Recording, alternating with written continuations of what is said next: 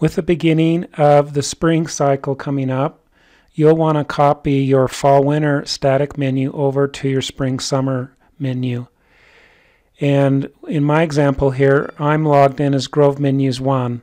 And Grove Menus 1 is my fall winter cycle. And uh, for my static menu, you can see I have two menus. One's my always available and the other one's my breakfast. If I click on structure, you can see how I have, how I have that set up. To copy that over, I'm going to switch over to my Grove Menus 2, which is my new spring-summer cycle. See that it's a blank piece of paper. And I'm going to go to Structure, and I'm going to import my uh, static menu from my fall-winter. And I'm going to select both of them that I created here and submit. And we're going to go ahead and import it. So now it's copied over my breakfast menu and my always available menu and now you can start using it.